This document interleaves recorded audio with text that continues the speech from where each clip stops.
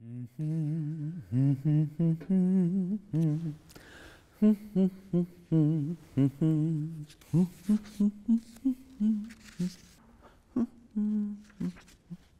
snapper!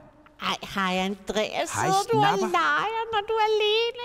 Nej, jeg sidder og arbejder, kan du tro. Arbejder med et øh, øh, tøjæsel? Ja, jeg skulle lige se, hvordan det her æsel virker, for det har noget med påsken at gøre. Jeg er ved at forberede en højtid. Påsken? Påsken. Har du hørt om påsken? Åh oh, ja, det er der med de der små påskekyllinger og nuttede lam og æg med farver og Ja, det er godt med dig, Snapper. Nu skal jeg fortælle dig, hvad påsken handler om.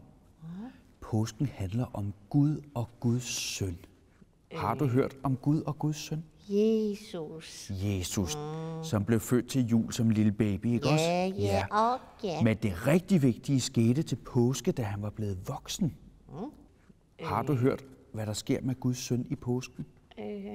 At han er en konge, der vinder. Og for store chokoladeæg? Nej, han vinder himlen, fordi han kender hemmeligheder. Det havde du ikke lige hørt om. Det er det, som jeg skal fortælle om, når jeg kommer i min kirke her. Nå, Og lige nu der er jeg i gang med at forberede starten af påsken. nå. Og kan du se, hvad jeg har liggende her? Ja, palme. Det er palmegrene. Og skal jeg sige dig, hvad den første højtid hedder i påsken? Nej, hvad hedder det? Palmesøndag. Har du hørt om en højtid? En højtid? Nå, ja, men jeg forstår ikke rigtigt, hvad det betyder. Det er en tid, hvor man fortæller noget, der er meget stort. Og derfor så er der meget højt til loftet i sådan en kirke her. Okay, men Kan det handler vel ikke om lofter? Nej, men det er fordi, man kalder det en højtid, fordi man fortæller om store ting. Om liv og død og det evige liv i himlen, og der, hvor Gud bor, og alt muligt spændende. Hele Så store ting fortæller vi om i kirken, så derfor kalder vi det en højtid. Nå, så forstår jeg bedre. Men nu skal jeg fortælle dig, hvad man brugte de her palmer til i gamle dage. Er du klar til at høre det? Ja da. Nu skal du høre. Ham der Jesus, du har hørt om til jul, ikke? Jo, jo. Han var blevet voksen, og så havde han gjort en masse gode ting, og der var mange mennesker, der havde hørt om ham, og de glædede sig rigtig meget til, at han kom til den store by Jerusalem for at holde højtid, holde påske der. Og så sagde han til sine venner, skaff mig lige et æsel, fordi jeg skal ride ind i denne her by som en konge på et æsel. Altså helt ærligt. En konge. Ja, Og en æsel, er du sikker på, at det ikke var en meget stor, flot hest? Ja, det tænkte du lige, det kunne være sådan en som den her, sådan en... Her Ja, kommer jeg, der. og jeg er Ja, en rigtig rigtig konge, ud. og jeg giver jer dask alle sammen Ja. med mit store svær, og min Yep. hest den tramper, så I rigtig kan høre, gadagong, gadagong, gadagong, og der bliver ballade. Nej, sådan en var han ikke. Nå. Han kendte nemlig en hemmelighed om, at en himmelsk konge skulle komme stille og roligt, venligt, siddende på et æsel, fordi et æsel det er et arbejdsdyr, og når der er fred i verden, så kan folk jo gå på arbejde, så et æsel det er et fredsdyr. Og så ville folk også vise, at det var noget stort, så de tog deres tøj af, hvis der lige var en, der havde sådan noget tøj på. Så Tog de deres tøj af? Nej, altså ikke alt tøjet, bare deres overtøj, altså deres kapper, ikke også? Ligesom hvis du havde sådan en kappe liggende her, Ja. så kunne man lige lægge den, og så kunne æslet ride rigtig blødt. Og så trampede æslet lige så stille, så det lød dejligt blødt. Ej, altså, deres tøj.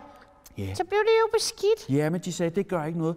Vi synes, du er sådan en fin konge, Jesus, så du må godt træde på vores tøj. Ja, så må de da virkelig godt have kunne lide ham i hvert fald. Det kunne de i hvert fald. Og de tænkte, ej, han kommer og befrier os alle sammen.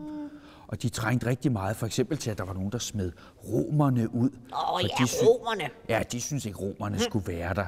Og romerne selv synes jo, at de var vældig gode, men der var mange, der synes, at de skal ikke være her. Nu kommer der en konge og smider dem ud. Men det var altså en venlig konge, som skulle vinde himlen i stedet for.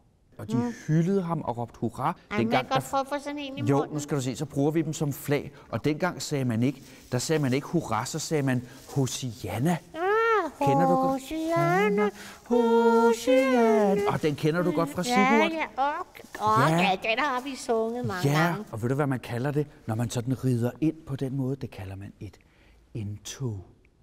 Så historien hedder Indtoget i Jerusalem, hvor Jesus rider på et æsel ind for at holde påske inde i Jerusalem. Og der sker mange ting i påsken, kan du tro. Og hvis du kommer nogle af de andre dage, så kan jeg fortælle dig hele historien. Okay. Faktisk, snapper, bliver det ret uhyggeligt. Nej, nej, nej, nej, nej, så tror jeg ikke, jeg skal høre det. Men, men det ender godt, fordi den her konge, han kender hemmelighederne, så han ender med at vinde. Så det handler om en konge, der vinder. Han ender med at vinde over alt det stykke. Altså, vil det sige, at du lover mig, det ender godt? Jeg lover dig, det ender godt, og vi er der begge to snapper til at høre historien, så du er Ja. ikke alene, selvom det bliver uhyggeligt, okay? Nej, men øh, ja.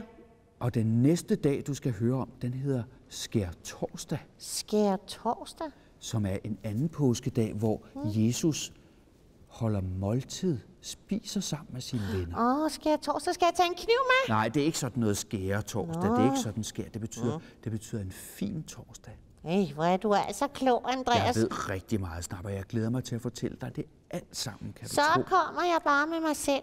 Det Uden jeg nogen mig til. knive på torsdag Det er godt. til skær torsdag. Kom snart igen, Ja, snapper. det gør jeg. er Snip, godt. snap, så ses vi på torsdag. det gør vi. Hej, hej, Okay, snapper. hej, Jeg hej. arbejder videre. Hej. Og hyg dig med Det skal jeg nok. tøjhæstet. Det skal jeg nok. Åh, i, åh.